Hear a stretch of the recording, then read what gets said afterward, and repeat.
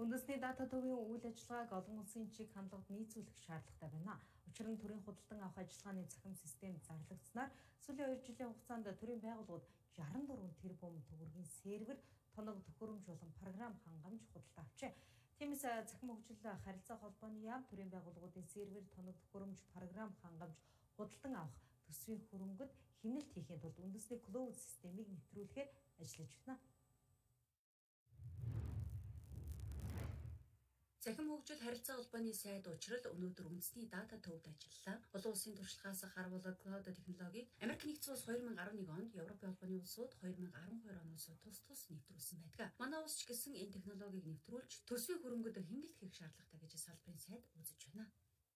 А төрийн мэдээллийн сүлжээнд холбогдож байгаа төрийн байгууллагуудыг мэдээллийг л энд хадгалдаг байх ёстой нэгт. Тийм учраас одоо хувийн хвшлүүдтэйг өрсөлдөхгүй байх зарчмыг тэгэхээр үнсийг клауд системийг нэвтрүүлэхдээ хувийн хвшлэр шаардлагатай аутсорсингийг хийлгээд за төрийн мэдээллийн сүлжээний холбогдож байгаа зөвхөн байгууллагуудаа энэ байршуулдаг.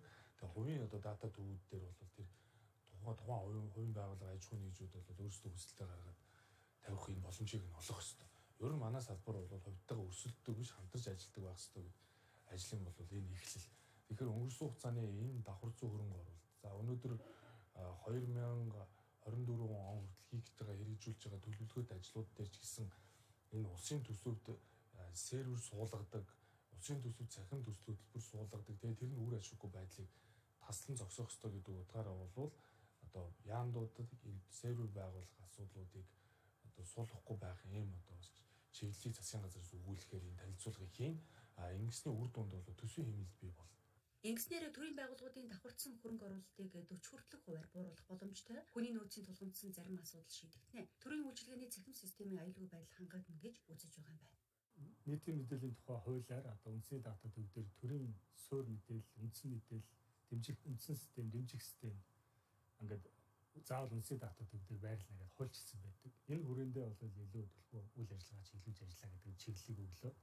А хоёрдугаарт энэ 13 жилийн хугацаанд энэ дата төв уламжлалт арга барилаар яваад ирсэн арга барилыг бол дэлхийн дата төвүүдийн одоо хөгжлийн чиг хандлагт нийцүүлж илүү энэ клауд, эко дата төв болгох чиглэлд бол ажиллах юм чиглэлийг өгч байна. Ингэснээр бол энэ төрийн байгууллагууд дээр одоо давхарцсан сервер тоног хэмжээ хөрөнгө оруулалт. За мөн төрийн байгууллагууд дээр үүсэж байгаа хүний нөөцийн дутагдлыг бол тодорхой хэмжээнд бол байгаа.